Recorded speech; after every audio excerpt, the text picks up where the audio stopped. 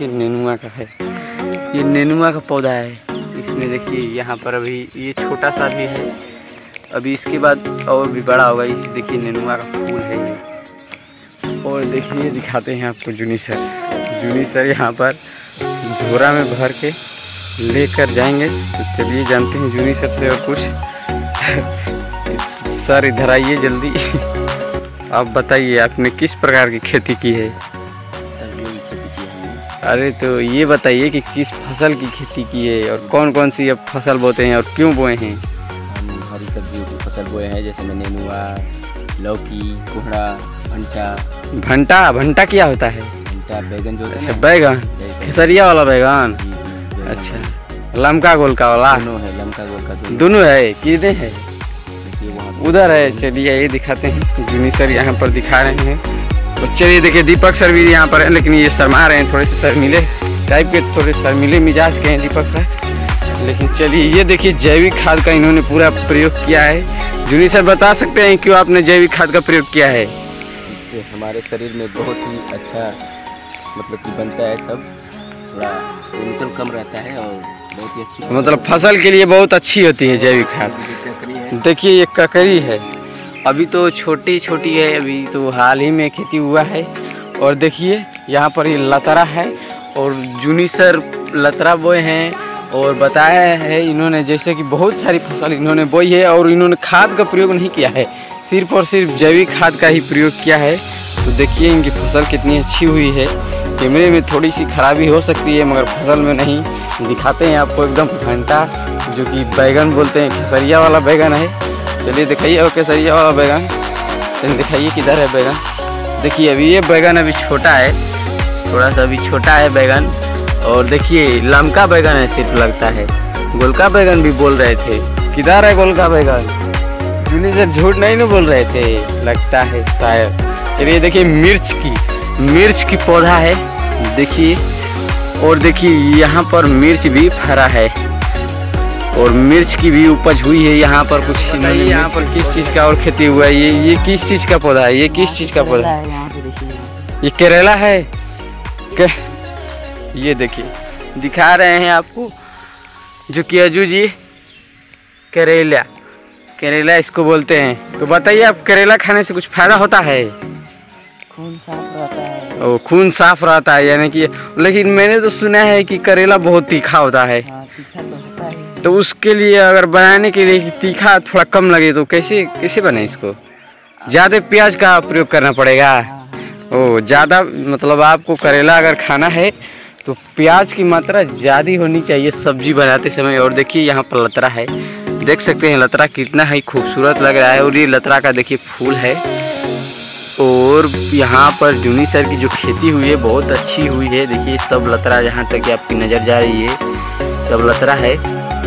और आगे देखिए, चले दिखाते हैं भिंडी। देखिए, जूनी सर अपने खेतों में लहलाहा दिए हैं। देखिए, ये भिंडी है। अभी तो छोटा है, लेकिन जब और थोड़ा सा बड़ा हो जाएगा तो इसको तोड़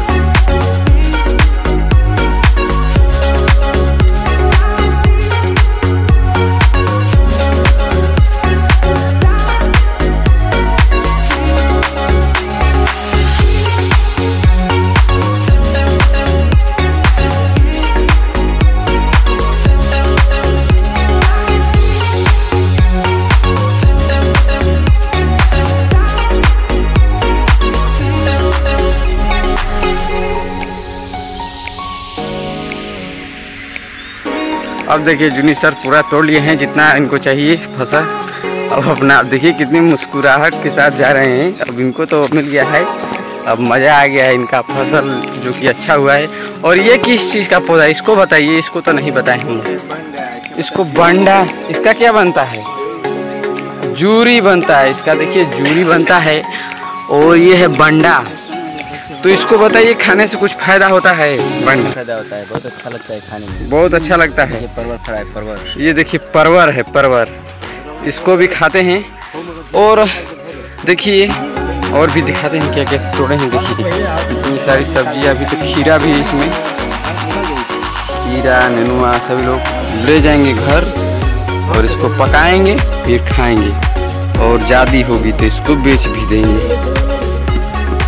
देखिए, अभी तो ये पहला खेत था और उसके बाद ये दूसरा खेत है, जिसको देखिए कितने अच्छे से प्रोटेक्शन दिया गया है, सुरक्षा प्रदान किया गया है, ताकि जानवर ना जाए अंदर। इसीलिए इसके लिए स्पेशल गेट बनाया गया है। स्पेशल गेट बना दिया गया है। और देखिए, इसमें आलू भी, भिंडी भी, इसमें भी फ़सल और खाद के रूप में सिर्फ़ जैविक खेत का ही, सॉरी, जैविक खाद का ही प्रयोग किया गया है। जैविक खेत का नहीं, खाद का। देखिए, यहाँ पर आपको दिखाते हैं, आपको दिखेगा। देखिए, ये जैविक खाद है। दिखाते हैं आपको। देखिए, ये जैविक खाद है। आपको सिर्फ़ और सिर्फ़ जैविक खाद का ही प्रयोग किया गया है इसमें। और आप देख सकते हैं, कितनी अच्छी फ़सल हुई है। पूरा ये पट, परवर का है, जो कि पटर बोलते हैं इसको हम लोग तो।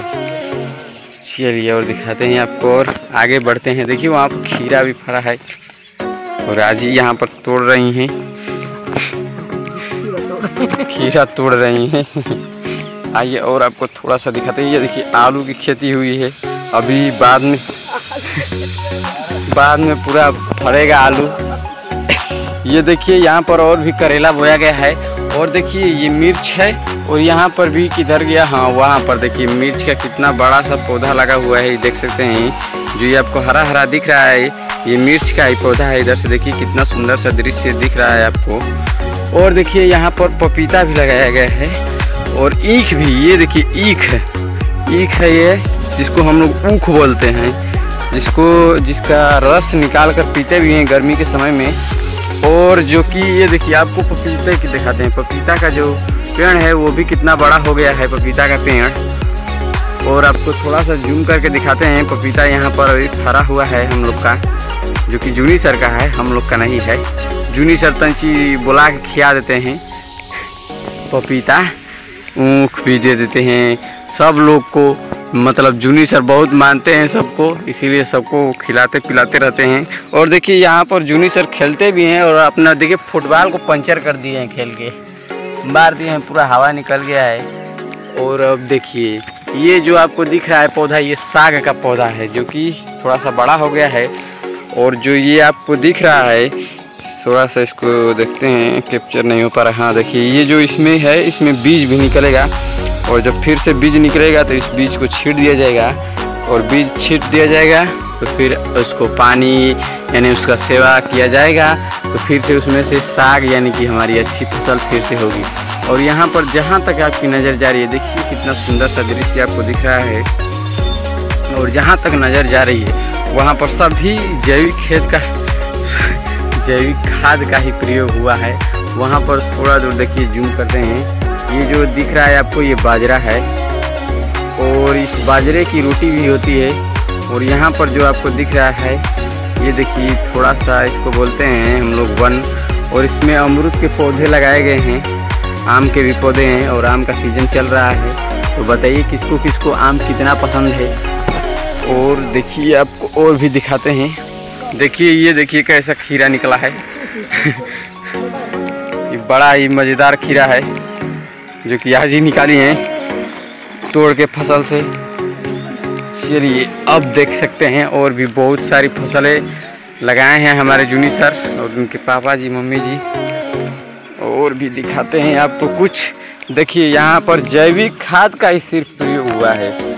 जैविक खाद फ़सलों में डालने से फ़सल बहुत अच्छी इसकी उपज होती है, देखिए। यहाँ पर आपको जहाँ भी देखेंगे, जैविक खाद ही दिखेगा और कोई भी खाद ऊपर से प्रयोग नहीं किया गया। और आइए दिखाते हैं आपको नेनुआ। आखिर नेनुआ कितना बड़ा हो सकता है? देखिए, अभी तो अच्छा हो गया है। देखिए, ये जो नेनुआ है, ये असली हो गया है। जो नेनुआ आपको दिख रहा है, ये अच्छा से हो गया। अब इसको तोड़ा जाएगा और इसको ले जाकर बाज़ार में बेचेंगे भी। देखिए कितने अच्छा से खड़ा है लटक लटक के। देख सकते हैं आप लोग, ये नेनुआ का फूल भी देखिए।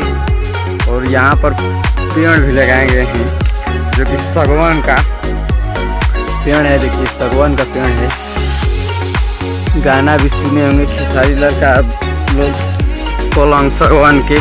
इसी सागवान की वो बात कर रहे हैं, जो कि सागवान है, इसी का पलंग बनता है। तो गाना सुने ही होंगे।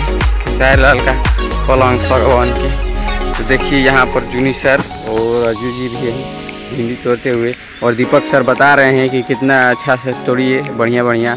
और दीपक सर कभी कभी उसी में बताते बताते खा भी ले रहे हैं ना। खा रहे हैं सर? नहीं खा रहे हैं जयंती